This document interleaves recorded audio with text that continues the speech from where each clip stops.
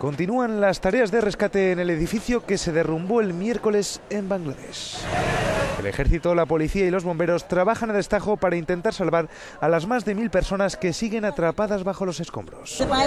El balance ofrecido por las autoridades habla de más de 270 muertos, aunque en los últimos dos días han podido ser rescatadas unas 2.000 personas. En la noche del jueves y más de 40 horas después del colapso, salieron con vida 41.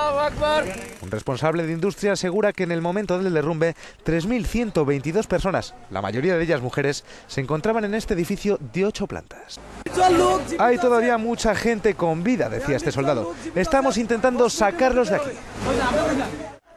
El edificio Rana Plaza de ocho plantas acogía varios talleres textiles, un mercado y una sucursal bancaria. Un día antes del derrumbe aparecieron varias grietas y el banco decidió cerrar.